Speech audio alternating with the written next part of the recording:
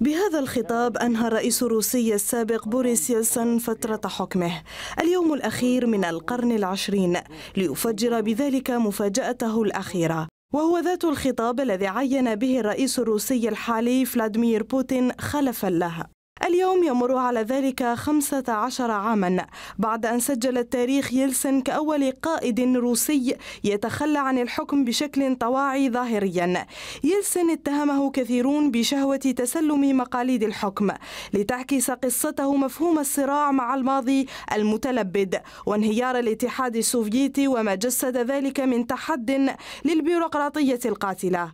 حيث كانت فترة حكمه من أكثر الفترات المظلمة في التاريخ الروسي. فلم تشهد مثلها حتى في أثناء الاحتلال النازي خلال الحرب العالمية الثانية أو حتى قبل الثورة البلشفية في العاشر من تموز عام 1991 أصبح بوريس يلسن رئيسا لروسيا بأغلبية 57% من الأصوات ليصبح أول رئيس منتخب شعبيا في التاريخ الروسي لكنه خسر التأييد الشعبي بعد الإصلاحات الاقتصادية الجذرية التي أقرها عام 1992 التي كانت نقطة الانطلاق لسلسلة من الأزمات الحادة في روسيا.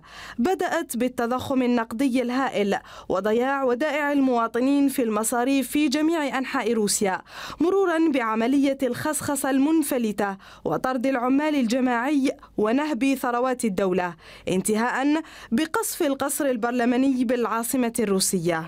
وعلى الرغم من ذلك استطاع يلسن الفوز مرة أخرى في انتخابات عام 1996 بعد ذلك انكمشت البلاد على نفسها وبدت أعمال يلسن تزداد غرابة يوما بعد يوم. وأبدى الكثيرون سخطهم واستياءهم من تصرفات الرئيس المخجلة التي كان يظهر بين الحين والآخر ثملا على مرأى الجميع بما في ذلك خلال مقابلاته الرسمية مع القادة الغربيين. وأصبح الكل يتساءل عن ماذا جرى للرئيس وكيف تحول هذا السياسي القوي الواعد في فترة قصيرة إلى سكير يرقص على مزمار الغرب.